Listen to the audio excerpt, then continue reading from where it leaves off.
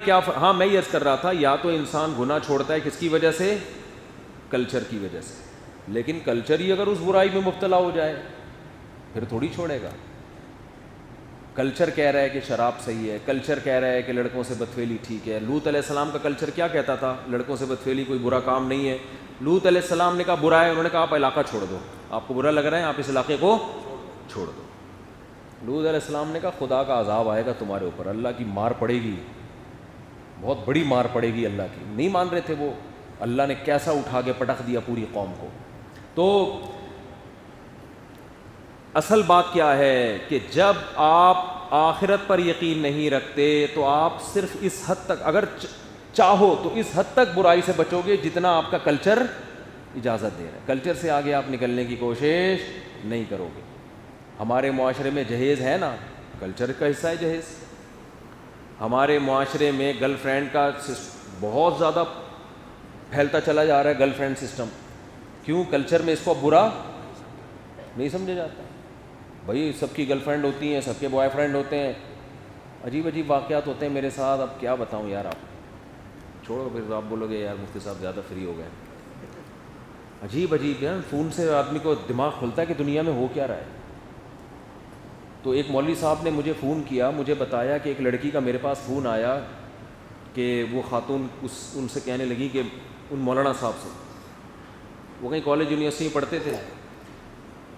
मौलाना भी थे और दुनियावी इल्म भी हासिल कर रहे थे यूनिवर्सिटी में तो कोई ज़रा हैंडसम थे लड़की, उन पर लट्टू हो गई। तो लड़की ने उनसे, उन मौलाना साहब मुझे खुद बता रहे हैं, मुझे फ़ोन करके कहा कि आप मुझसे शादी कर लें। मौलाना ने कहा कि दूसरी का दम नहीं था उनमें, उन्होंने कहा मैं नहीं कर सकता। उन्होंने कहा फिर कोई बात नहीं, गर्लफ्रेंड बन जाती हूँ आपकी। मौलाना से कह रही है वो। कि मैं क्या बन जाती हूँ?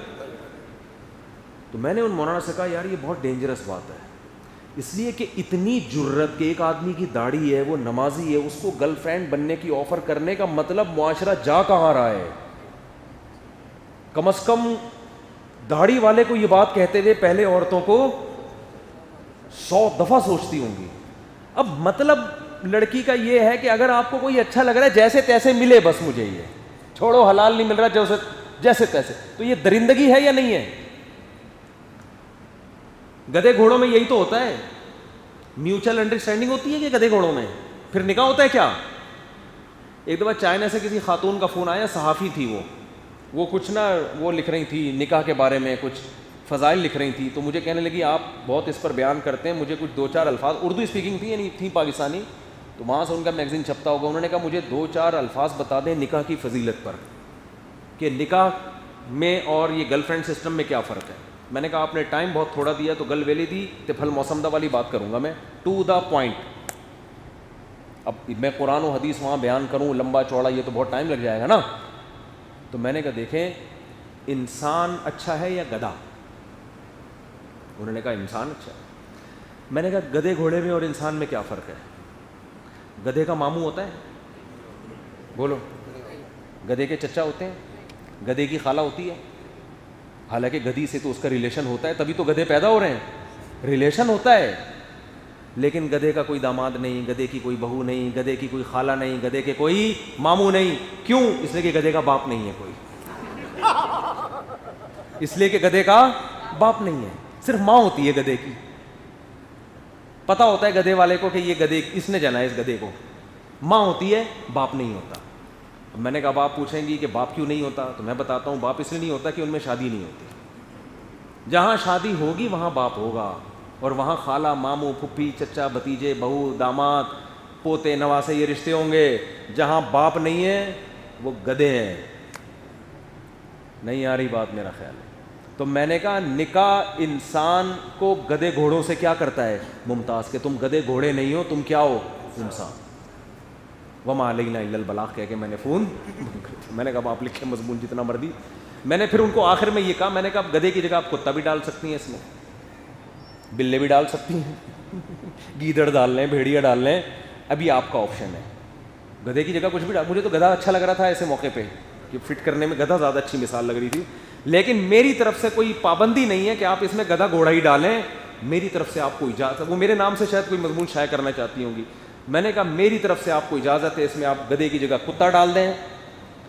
गधे की जगह, जैसे लोग बिरयानी की देख पकवाते हैं ना, बोले, भाई, चिकन डालो, बीफ डालो इसमें, या आप बकरा डालो, कोई मस तो हम तुम्हें इख्तियार दे रहे हैं, बिरयानी मज़े की होनी चाहिए। तो मैंने कहा, मजमून मज़े का होना चाहिए, उसमें आपको गधा पसंद नहीं आ रहा तो कुत्ता डाल दें आप। कुत्ते का भी बाप नहीं होता, घोड़ों का भी बाप नहीं होता, बैल, बछड़े, इनके बाप नहीं होते।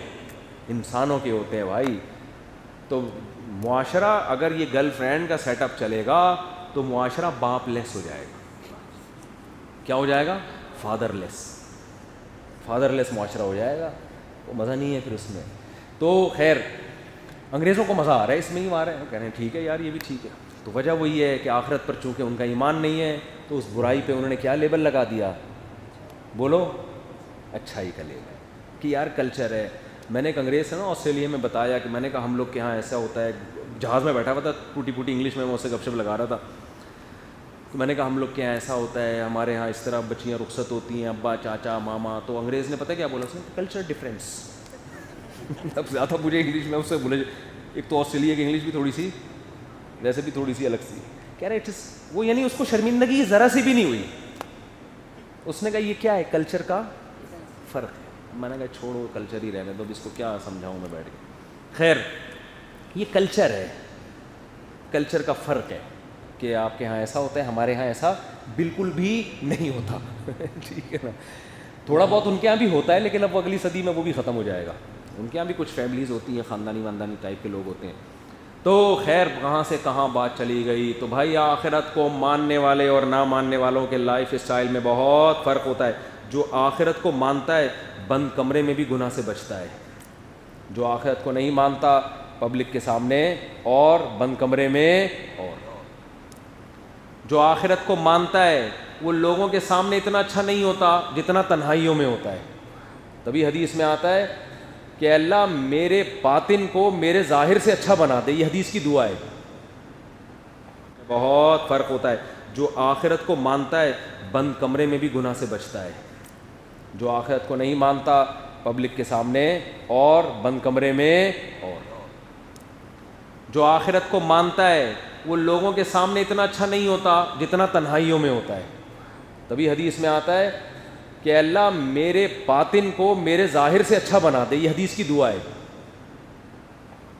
अल्लाह मजाल शरीरती खैरम बिन अलानियती, कि अल्लाह मेरे ज़ाहिर को, मेरे बातिन को मेरे ज़ाहिर से, यानी लोग मुझे जितना अच्छा समझें हकीकत में उससे ज़्यादा अच्छा, ही हूँ। लेकिन जिसका आखरत पर ईमान नहीं होता कहते हैं अंदर जैसे मर्ज़ी हो पब्लिक इज़्ज़त दे आपको रिस्पेक्ट दे पब्लिक समझे माशाल्लाह बहुत अच्छा पर्सन है भाई very nice nice to meet you और आप जवाब में कहें nice to meet you too बस ये चले ऊपर ऊपर।